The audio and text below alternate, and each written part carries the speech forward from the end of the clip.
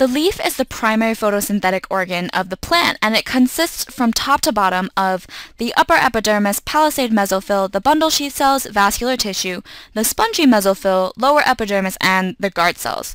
Chloroplasts are mainly found in the palisade mesophyll and the spongy mesophyll, and the difference between these two types of mesophyll cells is that the palisade um, are more columnar shaped and more tightly packed, and they're closer to the sun, so they're well exposed to the light, whereas the spongy mesophyll are loosely packed with a lot of open airspace in between, and this open airspace is what gives the cells an increased surface area available for water and gas diffusion.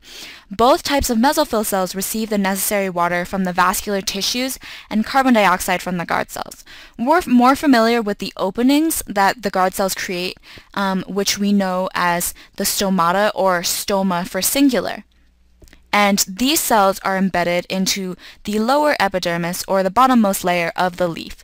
As you can see in the diagram, the stoma open when the guard cells swell up by pumping their vacuoles full of water, and then they close when the water is released from the vacuoles.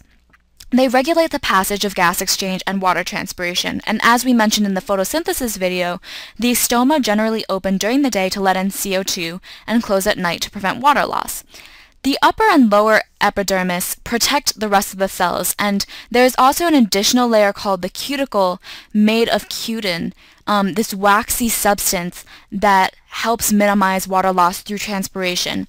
And it's basically this laminated layer above the upper and lower epidermis or above and below the upper and lower epidermis. The last type of cell that we haven't yet mentioned is the bundle sheath cell, which are tightly packed around the vascular tissue, as shown here in blue. And we mentioned in the photosynthesis videos that in C4 plants, the Calvin cycle occurs in the bundle sheath cells.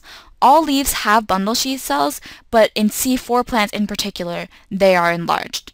So in summary, the leaf is the photosynthetic organ of the plant, and it consists of the cuticle, epidermis, mesophyll, bundle sheath cells, vascular tissue, and the guard cells.